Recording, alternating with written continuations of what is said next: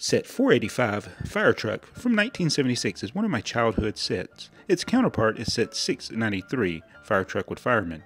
Both sets come with severed legs. These are the severed legs of the driver of the fire truck. These are the firemen from the set. Creepy, like from Doctor Who. You can orient the fire truck any way you like. Um, I don't know what happened there. The instructions for the US version do not show other sets. The ones from the Canadian and European versions do.